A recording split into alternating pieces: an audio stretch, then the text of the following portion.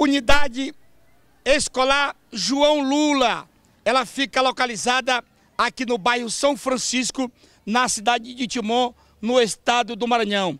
Essa é uma das escolas mais tradicionais aqui de Timon. Nós estamos aqui porque esta jovem, ó, ela estuda aqui e nesse local onde ela está, hoje pela manhã, ela chegava para a escola, ela não quer mostrar o seu rosto, quando foi atacada por quantos elementos? Dois. Eles estavam com que arma? Acho que era um calibre 38. Botaram na minha cara e falaram, bora para celular, para celular. E meu celular estava com a minha colega, eles viram que eu não tinha celular na mão, começaram a me apalpar, pegando aqui, bora me dar o celular, uhum.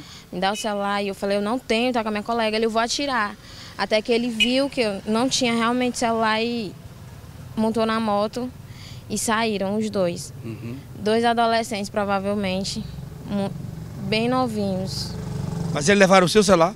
Levaram o meu celular e de mais algumas pessoas que estavam comigo. Não foi só o seu? Não foi só o meu. Outros estudantes daqui do João Lula? Era, a gente estava esperando a campa bater para entrar na escola e eles chegaram. Os dois elementos, pastor, vem comigo.